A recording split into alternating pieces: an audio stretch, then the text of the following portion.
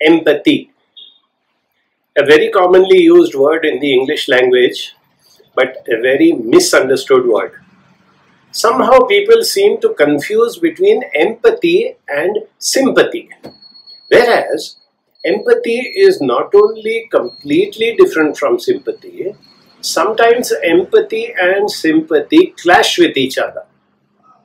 Let me give you a simple example. Somebody comes to you and gives you a sob story saying that I am in deep trouble, I need a loan, I need some money from you.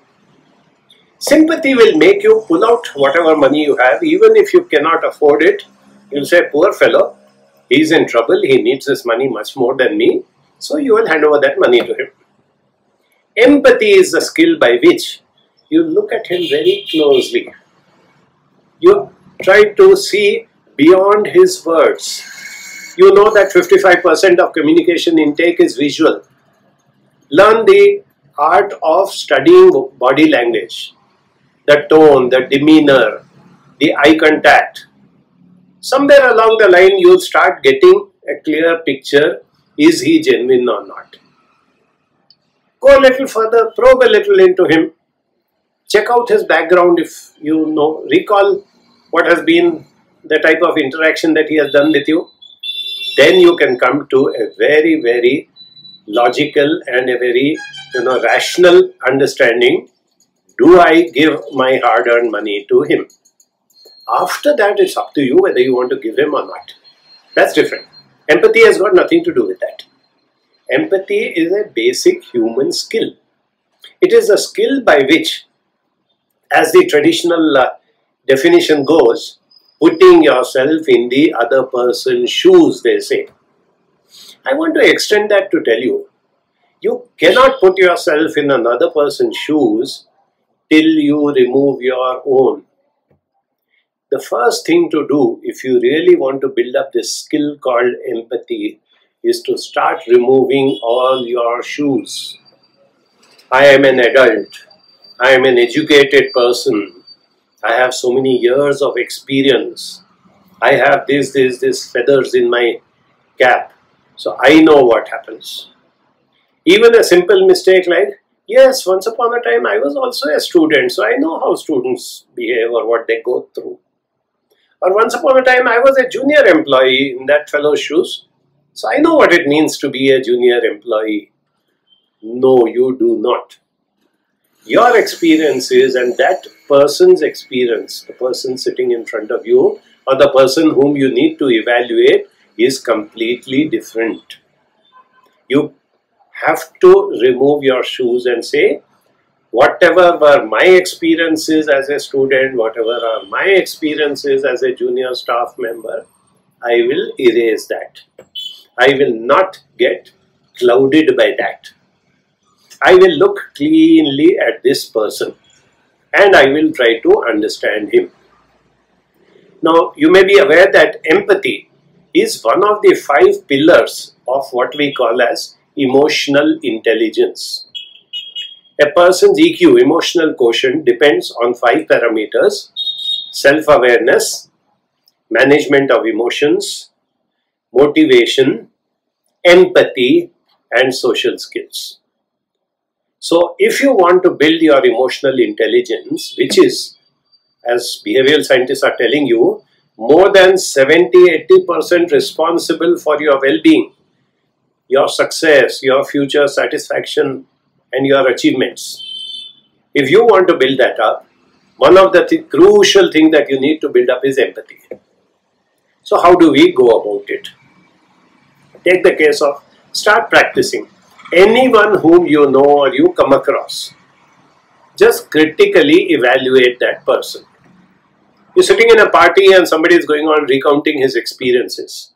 Don't go by his words sit a little away so that you get what we call as a bird's eye view and observe everything his body language, his tone, how he is turning to the others, whose attention he is looking for, and then see what he is saying, what is the purpose behind it.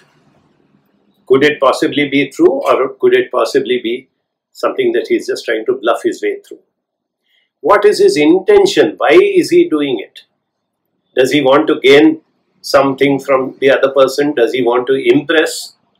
Does he want to, you know, have a better friendship or communication with the person? There could be a hundred reasons why a person, uh, you know, interacts. That if I start learning on a day-to-day basis, wherever, whatever I am, I can start learning on that. If I make that into a habit. The other aspect also is equally important. When you really need to empathize, you have to work closely with a person, or you're trying to understand somebody who is a family member, a near and dear, a loved one, and you really want to go into the depth and understand why this person is behaving this way. My father is a very good person. He's brought me up. He's given me everything in life and all. But why is he so short-tempered? Why can't he accept certain times when I give a good suggestion to him? That why part of it. We only say it. We don't make the effort to find the answer. The answer lies in empathy. So if I start off by evaluating, okay, today my father is behaving in this manner. What was he in his childhood? Let's start from there a lot of behavior of adults today is based on the upbringing that they had. And obviously their upbringing is different from yours. So you cannot go by what you went through in life. So let me understand this person. Spend a lot of time evaluating that person, asking him questions, making him talk about himself, making others talk about him. Yes, when he was a small boy, this is how he used to behave. When he got married, his how his attitude and behaviors were.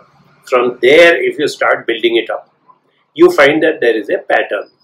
Let's say a person has got certain, you know, value systems, or the person has got certain attitudes, or even the person believes in certain faiths or superstitions, whatever it may be.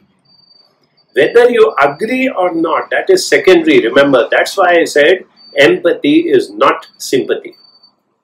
Once you come to know why the person is behaving in a particular manner, it becomes much easier for you to take a decision how to interact with him, how to respond to him, how much closer to get to him, and how much to protect yourself from him. Since social skills, interactions, people, you know, involvement is the ultimate thing as far as your day-to-day -day life is concerned. This is the forerunner. You have good empathizing skills, automatically your social skills improve and you can deal with and interact with any person, however different he may be, however difficult it may be. So make this a habit and make sure that you start looking at people who are different from you.